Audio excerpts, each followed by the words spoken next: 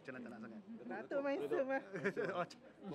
Datuk, uh, there's one question with regards to uh, SOSMA. I saw in the order paper today there's uh, there's this mention about SOSMA wanting to be amended.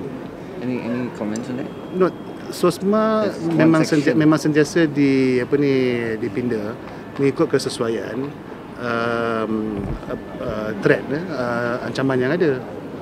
Ya. Kadang-kadang ada uh, ada perkara-perkara apa baru yang timbul yang uh, menuntut bahawa uh, pinaan pada undang-undang uh, terpaksa dibuat. Uh, terutamanya saya baru sebutkan baru ni uh, uh, bahawa kerajaan telah melaksanakan pemakaian elektronik monitoring device. Apa ni untuk efisiensi ya daripada kita tahan mereka dalam dalam apa ni penjara ya kalau mereka tidak mereka dinilai sebagai, orang yang tidak memberikan ancaman yang uh, uh, yang bahaya kepada masyarakat mereka boleh dipakaikan dengan EMD ni.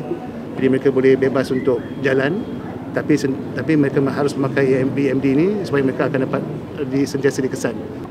Jadi itu sa- salah satu cara untuk uh, uh, apa mengawal uh, suspek ataupun tahanan dengan lebih efisien